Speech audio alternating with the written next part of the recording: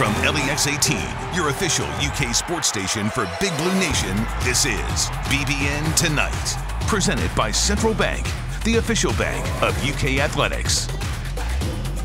Good evening and welcome to BBN Tonight. I'm Keith Farmer. And I'm Anna Trullo. Tonight we're talking about an alliance forming. Dwight Schrute, anyone? and other changes coming to college football, plus a conversation with the Big Blue Walls, Luke Fortner. And you can't talk about the Big Blue Wall without thinking of the late John Schlarman. Kentucky football has unveiled the latest way that they're honoring Coach Schlarman, and it's just right outside of the stadium. That's tonight's Big Blue story, presented by Baptist Health. This banner was hung today. It includes one of Coach Schlarman's signature lines You come together, nobody can stop you. Truly words that he lived by and a mindset he instilled in his offensive line room and throughout the program. The poster replaces the Josh Allen banner on the side of Kroger Field facing the Nutter Training Facility. I talked with Leanne Schlarman and Mark Stoops right after they saw it for the very first time. We didn't know what we were coming here for. We just knew that there was something special going on, and they wanted to keep it special for us. So it's been pretty quiet, and um, we didn't really know. It's been exciting and nervous at the same time when getting to know what we're, is going to happen to see John. It's amazing. It's really nice. It really shows the impact that he had on everybody. It's something special. Just one way we could recognize John. We're still searching for more ways to honor him and represent him. Of course, we've done things for the family, but for Leanne and the boys to come out here and see him and see him on the wall, uh, and for all of us, it's inspirational and uh, it does put a smile on our face. It's been a difficult time, and uh, this is one way to, to recognize John and, and hopefully Leanne and the family like it. Oh, it's awesome. We just, we, it's great to see John up there. I know he would be proud and embarrassed and see himself up there, but um, it'll be fun to come to games and be able to see him up there, and he'll be up there for a year, so it'll be great. I saw them hanging the poster in person this morning, and Anna, it is huge. You won't be able to miss it on game days this fall. And you kind of heard Coach Stoops talking there, but this is just the first. This isn't the last thing. The only way that they're honoring Coach Stoops. So this is just the beginning of that. Good. He deserves so much, and it should be huge. That's yes. the kind of impact he had exactly. on the program. Meanwhile, in the SEC, LSU has announced it will require all Tiger Stadium guests age 12 and older to provide proof of vaccination or a negative COVID-19 test taken within 72 hours of entry into the stadium. The LSU president said, quote, we must take all reasonable measures to protect our campus and community, not only on game days, but long after guests have left Tiger Stadium, end quote. LSU is the first SEC school to finalize a requirement like this.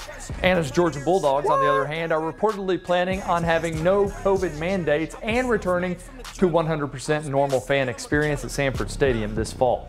Now, we checked with UK today, and as of now, the, the university is still in the process of finalizing its plan for game days this fall. And of course, we'll keep you updated as those plans continue to develop. Now, Keith, it's time to talk about the Alliance. it just sounds a little bit spooky, doesn't it? Yeah, it does a lot. It's the new partnership between the ACC, the Big Ten, and the Pac 12. Those three conferences announced today they're officially joining forces to try and feel as powerful as the SEC, especially when it comes to college football.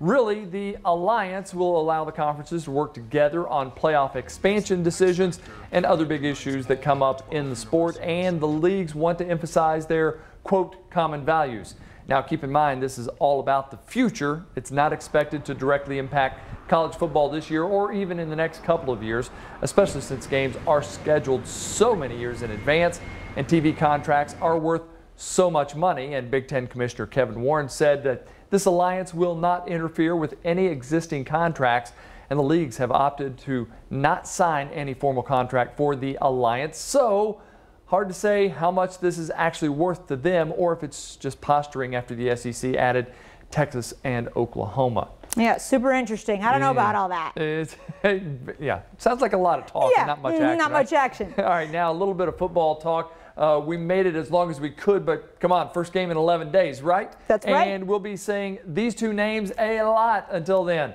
Darian Kinnard and Chris Rodriguez. This time it's because they've been added to the Pro Football Focus All America team.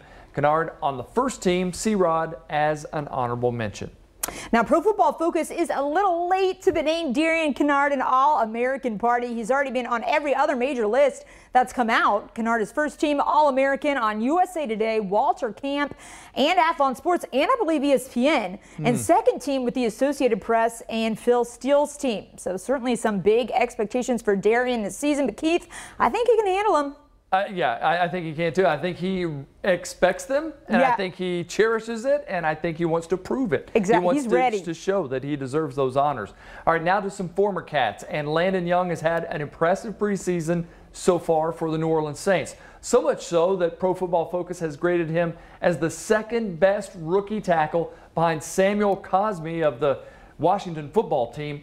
Landon looks like he's a lock for a roster spot this season and might be earning his way into some playing time.